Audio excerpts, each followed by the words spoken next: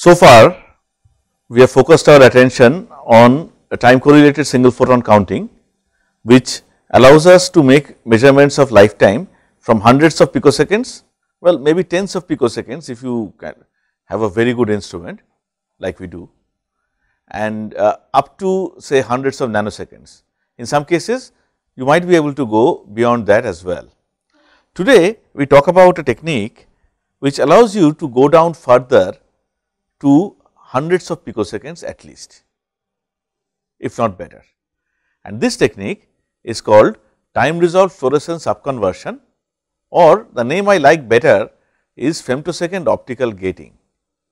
The reason why I do not like the term fluorescence upconversion is that there are many people working in the area of material science who want to make upconversion materials, materials in which like 2 photons of uh, smaller energy would join up to give you 1 photon of higher energy. And the moment they see fluorescence upconversion uh, technique, they come and ask me, is it possible for us to test our samples on your uh, equipment? Uh, of course, it is not possible to test their sample on our equipment. So, I like femtosecond optical gating better just to avoid trouble, but then uh, fluorescence upconversion technique is an absolutely valid commonly used name and we will see where this term upconversion comes from in this technique and how is it that we get uh, accuracy in time up to uh, femtosecond scale. Before proceeding further, it is important to point out that none of these slides are made by me. I do not know how to make such beautiful slides. They are all uh, prepared by uh, my colleague Professor Shobhan Sen from School of Physical Sciences, Jawaharlal Nehru University. Uh, he has kindly agreed to uh, allow me to use these slides as many times as I want uh, wherever I want. So, let me start thanking Shobhan for these slides that are made with a lot of care as you will see. So, first of all let me show you a photograph of the upconversion spectrometer. This is what it looks like. This is actually a photograph taken from top. This is not our instrument, it is the instrument that is there in JNU, but then our instrument is pretty much the same. And uh, next day we are going to go to the lab and we are going to show you our instrument in real time and we will show you how the data is recorded. So, the idea is in this module we are going to uh, tell you and try to make you understand without actually going to the lab how the data is recorded and uh, what are the underlying principles and all. And next day you will come to the lab and you will see what exactly is actually done, right. So, what you see here is this black flat surface with a lot of holes is a breadboard. And uh, if you go to any optics lab, you will see breadboard like this. In fact, if you look carefully, you will see that this black surface with uh, holes is sitting on a shiny surface with holes. That is an optical table, top the top of the optical table. And the reason why we have so many screws, uh, the so many holes there is that it is possible to use bolts and screws and fix uh, pieces of optics on this surface. Now, whatever you see here is a piece of optics. It may not be very clear from, from this photograph because it might be for many of us that we are seeing such uh, apparatus for the first time. But when we go to the lab and we see everything in front of our eyes, I hope it will become clear and today's ex exercise is going to help us understand uh, things that are there as well. So, to start with, let me try to give you from this figure uh, a description of what is there in the spectrometer. So, first thing that you have is uh, what is written as SHG crystal. SHG means second harmonic generation crystal. We are going to have a couple of modules on uh, nonlinear optic on nonlinear optics later on and there we will learn that there are materials that uh, allow two photons of uh, they may be same energy, they may be different energy, but they allow two photons to combine and produce a photon of larger energy. It is pretty much like two drops of water falling on a table coming together and forming a bigger drop. It is just that the drops here are not drops of water, they are drops of energy, drops of light. But not everything allows a combination of photons. There are very stringent conditions that have to be satisfied for a material to act as a nonlinear optical material and it that in itself is a very uh, active field of research. So, without going into that at this time, just believe me when I say that the first thing we have here is a second harmonic generation crystal. What is the purpose? We will see in a while. Now, why are we saying second harmonic? Because in this crystal at least what happens is you make incident uh, laser light nominally of 800 nanometer, but whatever laser light you might want to use and two photons of the same laser join up to produce a photon of double the energy. This photon of double the energy that is called second harmonic or if I put it uh, in another way suppose the uh, frequency of the incident light is omega then two photons of frequency omega join up to produce another photon of 2 omega. This 2 omega is a second harmonic of omega uh, it is as simple as that. So, what we do here is that you make incident this red light which is from a laser in our case it is a femtosecond pulsed titanium sapphire laser. Uh, later on we will have occasion to talk a little more about what is there in the laser and how femtosecond pulses are produced. For now let us just accept that this red light is the output of a femtosecond pulsed second harmonic uh, sorry femtosecond pulse titanium sapphire laser. And wavelength of this laser that the one that we have can be tuned from say 700 nanometer to uh, 1000 nanometer or so. Let us say that uh, this red light that we are showing you here is uh, has a wavelength of 800 nanometer. Okay. Of course, if I say wavelength of 800 nanometer, it is not very difficult for you to work out what the frequency is because frequency and wavelength are related by lambda nu equal to c. Okay. Now, what happens in the second harmonic generation crystal is that as I said two photons join up to give you one photon. So, suppose uh, I am using 800 nanometer light, what will be the wavelength of the uh, sum frequency photon? This one is very easy, it is going to be half, right 800 by 2, 400. But while doing this uh, thing, please remember one thing that you have to add frequencies, not wavelength. Wavelength is actually in reciprocal scale. So, the right way of doing it is to convert whatever you have to frequency, add the frequencies and then go ahead. You will see when we talk about sum frequency generation later on rather than second harmonic generation that will become a little important. Second harmonic generation is uh, easy because the wavelength of the output is just half of the wavelength of input light. Okay. Now, here let me tell you something it is a little easier to produce second harmonic of uh, femtosecond pulse laser, short pulse lasers. Why? Because when you uh, do second harmonic generation, what are you doing? The first photon takes the material from its ground state to what is called a virtual state. A virtual state is a non-stationary state associated with a lifetime of 0 and it is usually described as a linear combination of the stationary states of the system. So, requirement for second harmonic generation is that you take the system from the ground state to the first stationary state, then there must be another photon of the same energy which will take it to another virtual state. Okay. So, first frequency takes it to an energy of say uh, nu, well I am uh, stating energy in terms of frequency here omega. Second one second photon also of omega uh, frequency takes it to a virtual state whose energy gap between uh, whose energy gap with the ground state is equivalent to a frequency of 2 omega. And now there is no memory, the system does not remember that it had gone up in 2 steps and it cannot stay in virtual state for any finite amount of time. So, it has to emit a photon and comes down and since the energy gap between that virtual state and the ground state is equivalent to frequency of 2 omega, it actually emits a photon of 2 omega and that is what you see as the sum frequency or in this case second harmonic. It may be a little difficult to follow it uh, in this way when I speak, but then later on when we talk about nonlinear optics, we will actually draw diagrams and then I hope it will become a little easier. For now, all we need to understand is that this red light falls on the second harmonic generation crystal SHG crystal and blue light is produced. And what you have seen is the path of the blue light. I will go back a little and I will show you the path of the blue light, but before that let me tell you, you could see what happened right. Blue light gets produced here at the second harmonic generation crystal, it hits what we have here is a dichroic beam splitter. Dichroic beam splitter means it reflects one color and transmits another color. In this case, you use a dichroic beam splitter which reflects blue light, but transmits red light. It could be the other way around as well. You have dichroic beam splitters of both the variety. Then having been reflected from this dichroic beam splitter, the blue light comes to another dichroic beam splitter. This one dumps the residual red light.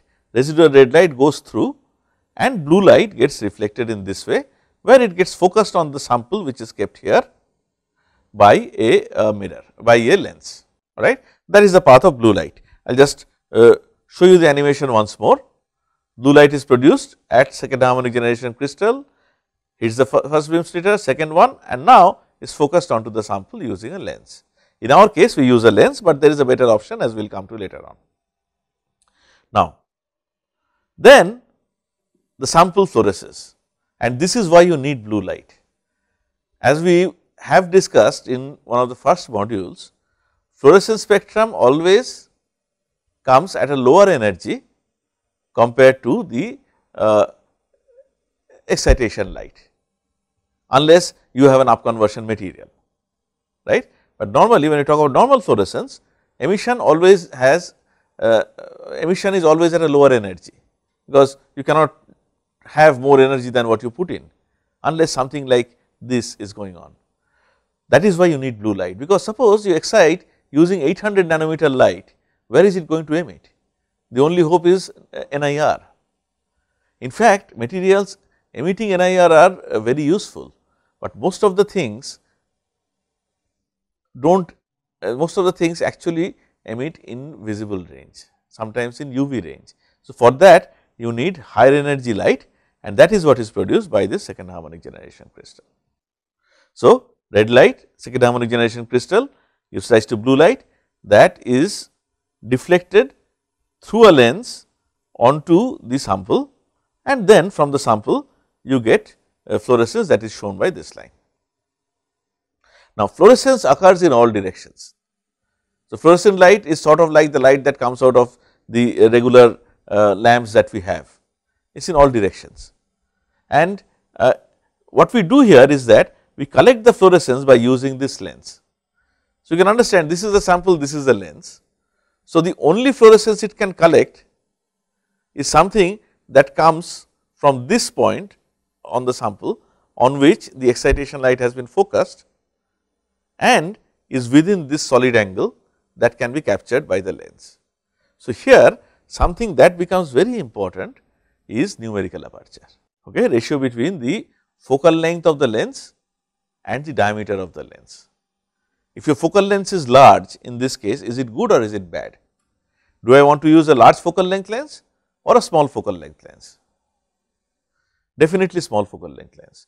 In fact, there are uh, instruments in which they use a microscope objective. You want the lens to be as close to the sample as possible, because the further away you go, more is the loss of light.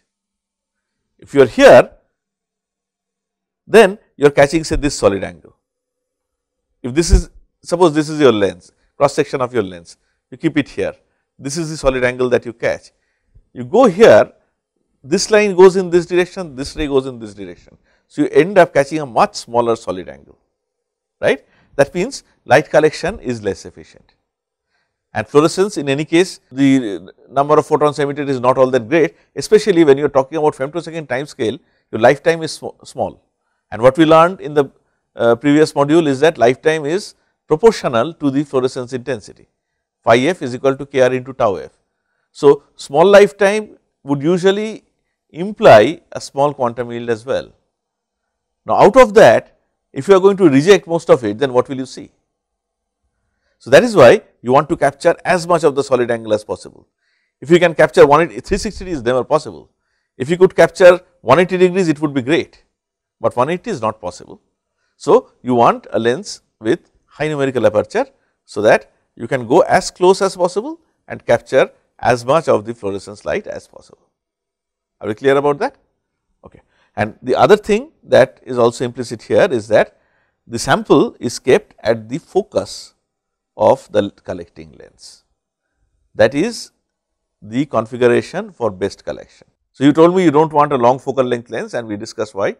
Do you want a small wider lens or do you want a narrower lens? I mean diameter of, of the actual optic. Should it be small, should it be large? It should actually be as large as possible. But there is a practical problem to that because your focal length is small. If you want a very large lens, then it is going to be a very huge curved surface like that, it cannot be very large actually, right. So, uh, there is a limitation that is why numerical aperture is the quantity that determines what kind of lens you are going to use. Alright. So, let us see what is happening here. We have some labels here omega 2 is the uh, frequency of fluorescence as we are denoting here. What is omega 1? We will come to that shortly. So, this fluorescent light is captured by the lens with small focal length. Then here we have a filter. What is the purpose of this filter? You see you are doing a collinear collection. You are collecting in the same direction as the direction of propagation of the incident light. So, of course, there will be uh, not only this uh, fluorescence light, a lot of excitation light will also be there in the same path, but then you do not want it right because if excitation light gets into the detection channel then your instrument is going to get messed up. So, you want to cut out an excitation light, cut out the excitation light and you want only the fluorescence light to reach wherever it, it is going to reach later. So, now tell me how do I cut out the excitation light and allow only fluorescence to go through? What should I use? I, we should use a filter that is right. What kind of a filter? A filter that cuts out high frequency, high energy, short wavelength light and transmits low frequency, low energy, long wavelength light. What is that kind of a filter called? It is called a long pass filter that is right. So, in uh, equipment like this you have to actually use dif many different kinds of filters. Here you use a long pass filter and the purpose of that filter is to cut the excitation light while allowing the fluorescence to go through. Here you, if you look carefully you will see there is another something here also you have some filters. These are a different kind of filter they are called neutral density filter. What is the meaning of a neutral density filter? Something that ideally cuts down a lot of the light going through irrespective of wavelength. So, if you plot uh, absorbance or rather percentage transmittance against uh, wavelength, then you expect to see a flat line in case of uh, neutral density filters, a flat line that is at 50 percent, 20 percent, 10 percent, 1 percent depending on your need. Why do we have neutral density filters here? Because we do not want too much of light to fall on the sample. You are using a 100 femtosecond pulse. So, that is putting a lot of energy into the sample in a very, very small time. So, sample is going to burn. That is why you always want to work at minimum excitation energy possible. If you put in more excitation energy, perhaps you will get stronger fluorescence, but that comes at a cost and the cost is your sample might get damaged. And if you are not careful, you might not even understand that your sample is getting damaged. So, uh, the problem with that is that once we are done with this uh, discussion, we can come back to it. The problem with that is that you actually get incorrect result. The lifetime you record can actually be different from what it what it is. That problem is not there in TCSPC. In TCSPC, first of all, not much of damage is there if you use diode lasers and all. Secondly, it does not matter if the sample degrades even during the experiment. Unless another fluorescent species is produced, lifetime will remain unaffected. Not so in upconversion, not so in optical gating. In this case, if the sample degrades, even if it becomes something that is not fluorescent, then your measurement can be affected and we will discuss why once we are done with the remaining part of the experiment of the discussion. All right. So, what do we have? we have this fluorescence going through the long pass filter, then uh, that cuts out all the blue light, only fluorescence light goes through. Here you have a lens. Perhaps you will understand better when we show it to you in 3 dimensions next day. Here you have a lens and this lens focuses the uh, fluorescence light onto another nonlinear crystal. But here you see this one was SHG crystal, the first one, the second one is called SFG crystal, because here it means sum frequency generation crystal, not second harmonic generation crystal. Why do we need a nonlinear crystal? What is it doing there? What is the uh, uh, function? How does it help? We will come to that shortly. But for now, we need to remember that this is uh, a sum frequency generation crystal. Now, you see here when, when I say long pass filter, you might actually have to use uh, a different filter for a different sample. That is why uh, in this kind of an instrument, you always need a set of filters. What you see here, you can see some color there, they are all colored glass. A set of filter, mostly long pass, which allow only the fluorescence light to go through, but actually not all are long pass, some short pass filters are also there, we will come to that, alright. So, are we all okay with this path? Fundamental red light getting frequency double producing blue light which is directed onto the sample focused onto the sample. Then fluorescence light goes through a long pass filter whereby the excitation light is uh, eliminated and then the fluorescence is focused by a lens onto a sum frequency generation crystal. Are we okay with this arm? But this is only one arm of the instrument, only half of the story. The remaining half of the story and that is where omega 1 comes in is in this side. Remember what is this optic here? Is it a plane, uh, is it a simple mirror? It is actually a dichroic, right? And dichroic reflects blue light and transmits red light. So, what you see now is the path of the red light which is omega 1. I will show you the animation once again, but then I am afraid I cannot speak fast enough to keep up with uh, the animation. After all we are trying to animate light which is the fastest thing in the in well in the universe. So, let us see. So, red light goes through the dichroic, hits a mirror, another mirror, goes to a retroreflector, comes back, ah, see I could not keep up with it. So, now let me try to do it in a static mode. So, this is where your red light goes through. Where is it produced? It is produced in the laser outside the spectrometer. It is there. If you see carefully, you can see two beams, one blue and one red. So, that red light goes to the dichroic, hits this mirror, then this mirror comes back and here you have a retroreflector. Retroreflector means it can even be a pair of mirrors, something that turns light back. Okay? Light does an about turn at the retroreflector. What we have in our lab and in these uh, instruments which are uh, marketed by CDP corporation, what they always have is they have a three sides of a cube front coated with gold. There are some advantage with having three sides of a cube. The advantage is that the light that comes out from the retroreflector is exactly parallel to the light that goes in that helps in alignment. So, if light goes in like this, it will come out like this. If it goes in like this, it will come out like this. So, having a retroreflector which is three sides of a cube helps us in the alignment a little bit.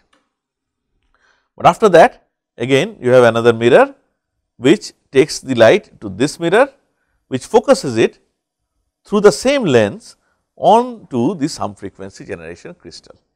And we are saying that this red light has a frequency of omega 1 okay and this light also goes by the name of gate light. Remember one of the names is femtosecond optical gating this omega 1 serves as the gate. Before going any further let us uh, make sure that we have not forgotten what kind of a light is that red light is it continuous wave light or is it pulse light it is pulse light right where remember it is the output of a femtosecond pulse titanium sapphire laser. Its pulse light full width and half maximum of the pulse would be something like 100 femtosecond in our case. it can be even smaller, okay, pulsed light, omega 1 is pulsed. So, what does it look like if the x axis is time? It looks something like this. What about omega 2? If I look at it in time domain, what is the time evolution of omega 2? It is from fluorescence, right. So, it is a decay, okay. This is a point that we are going to come back to shortly, right. But before that, let us think in a little uh, simple manner, not worrying about time at the moment. Now, you see what we have done, we have focused light of two different frequencies omega 1 and omega 2 onto the sum frequency generation crystal. What should happen? It is a nonlinear crystal, it is called a sum frequency generation crystal. So, it would better give rise to sum frequency. What is the meaning of sum frequency? Omega 1 plus omega 2, alright. So, this sum frequency is generated here and actually it is this sum frequency that is detected. How do we ensure that? After here what we have not shown is we have a monochromator like the ones that we have discussed earlier uh, while talking about steady state measurement, but generally here you use a double monochromator. There are two gratings because you need uh, very high precision in this case. And then you have a regular photomultiplier tube or some other photodiode detector like what you have in your uh, say a fluorescence spectrometer. Okay. So, you are going to see uh, omega 1 plus omega 2 and if you just measure the photocurrent out of the photomultiplier tube, then you can get an idea about the intensity of the sum frequency omega 1 plus omega 2. Are we clear? But what does all this have to do with uh, femtosecond time resolution? So, femtosecond optical gating, we have understood the optical gating part perhaps because we said that this omega 1 light is called optical gate, but why is it called a gate?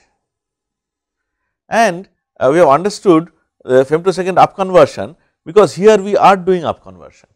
So, this crystal is also called the up conversion crystal, okay.